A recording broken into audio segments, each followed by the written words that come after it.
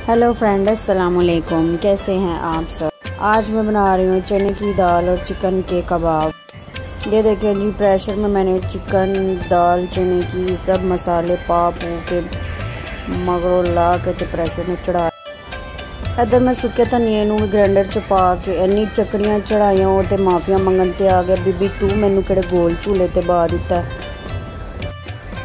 है वेखो जी सुके धनिया के दम निकल ਇਹ ਵੇਖੋ ਜੀ, ਇੱਥੇ ਪ੍ਰੈਸ਼ਰ ਵੀ ਆਪਣੀ ਔਕਾਤ ਦਿਖਾਉਣ ਲੱਗ ਪਿਆ। ਮੈਨੂੰ ਵੇਖ ਕੇ ਤੇ ਸੀਟੀਆਂ ਮਾਰਨ ਲੱਗ ਪਿਆ। ਪਹਿਲੇ ਵੀ ਇਹ ਸੀਟੀਆਂ ਮਾਰਦੇ ਫੜਿਆ ਗਿਆ ਸੀ ਤੇ ਇਹਦੀ ਇਹ ਵੇਖੋ ਨੱਕ ਵੀ ਭੰਨ ਦਿੱਤੀ ਸੀ ਤੇ ਇੱਕ ਲੱਤ ਵੀ ਤੋੜ ਦਿੱਤੀ ਸੀ। ਫਿਰ ਵੀ ਇਹ ਬਾਜ਼ ਨਹੀਂ ਆਇਆ ਸੀਟੀਆਂ ਮਾਰਨ ਤੋਂ।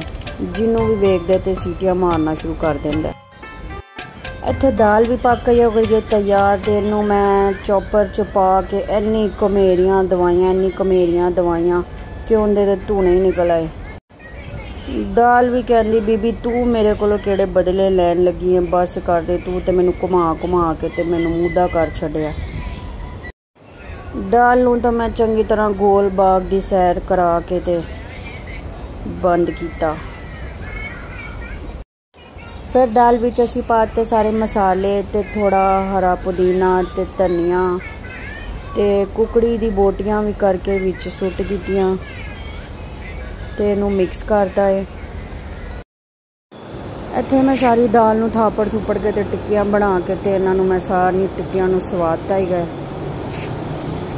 ਇੰਨੀ ਸਾਰੀ ਟਿੱਕੀਆਂ ਬਣਾਤੀਆਂ ਨੇ, ਜਿਵੇਂ 버ਗਰਾਂ ਦੀ ਰੇੜੀਆਂ ਲਾਉਣ ਲੱਗੀਆਂ।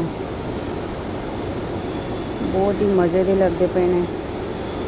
ਇੱਥੇ ਮੈਂ ਦੋ ਚਾਰ ਫੜ ਕੇ ਤੇ ਘਿਓ ਵਿੱਚ ਤੜਫਣ ਵਾਸਤੇ ਸੁੱਟ ਦਿੱਤੀਆਂ ਕਿ ਇਹਨਾਂ ਦਾ ਜ਼ਾਇਕਾ ਤੇ ਚੈੱਕ ਕਰੇ ਕਿੰਜਦੀਆਂ ਬਣੀਆਂ ਨੇ।